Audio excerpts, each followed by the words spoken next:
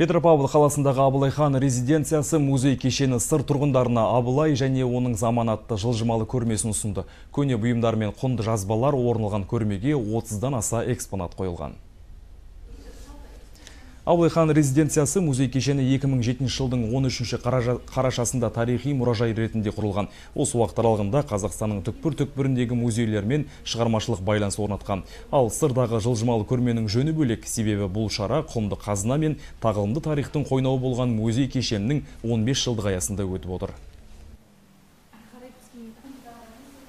бұл іс шара абылай хан резиденциясының 15 жылдығына арналып жасалынып отыр. Қазіргі таңда осы ұйымдастырылған көрмеге осы мынау қала жұртшылығы қызығушылық танытып келуде оның ішінде қала қонақтары мектеп оқушылары және студенттер де осы қызығушылығын танытып осы музейді жалпы музей экспонаттарын онымен қоса қазіргі мынау жаңадан келіп жатқан көрмемізді тамашалап жатыр.